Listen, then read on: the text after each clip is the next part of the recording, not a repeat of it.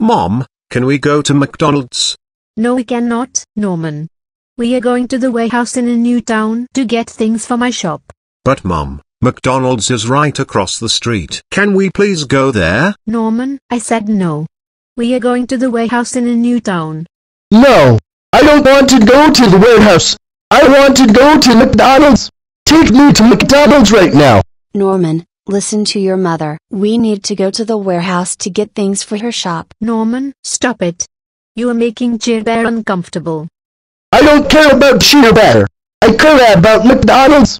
If you do not take me to McDonald's, I will destroy the buildings. Norman, you wouldn't do that. Everyone else has already done it and it's a cliche. Please, Norman, don't copy all those other troublemakers, and don't destroy the city.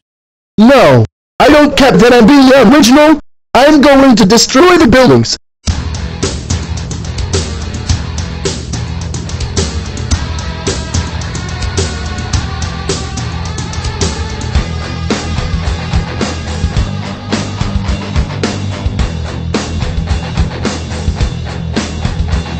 Screw the water Pits.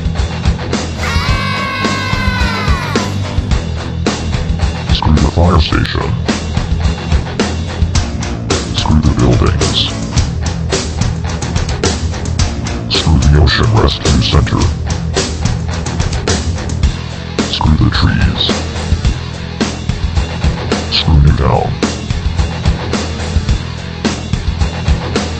Oh, oh, oh, oh, oh, oh, oh, oh, oh, oh, oh, oh, oh,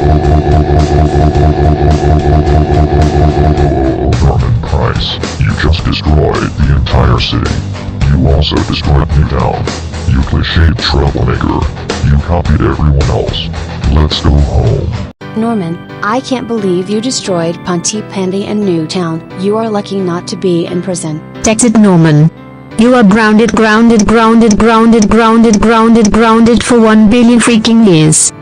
And Norman, from now on I will be staying here and watching your every waking moment for the rest of your life. You might as well call me your adopted little sister who's always watching. What a horrible ending to that dream. Man, what could be worse than dreaming that a Care Bear lives in your house? Hey Norman. We heard you crying so we came in here to check on you. Are you okay, Norman?